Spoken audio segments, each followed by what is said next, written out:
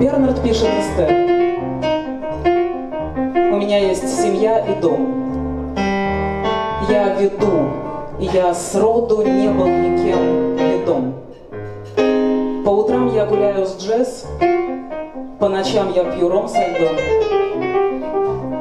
Но когда я вижу тебя, я даже дышу с трудом. Бернард пишет Эстер. У меня возле дома пруд. Дети ходят туда купаться, но чаще врут, что купаться. Я видел все. Сингапур, Бейрут, от исландских фьордов до сомалийских руд.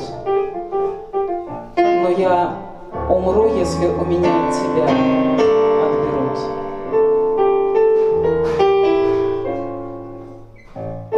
Бернард пишет, доход, финансы и аудит.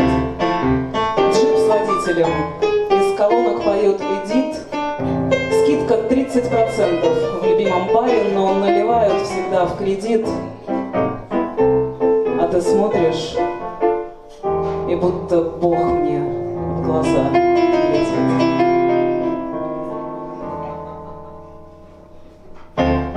Бернард пишет, мне 48, как прочим светским плешивым львам. Я вспоминаю, кто я по визе, паспорту и правам.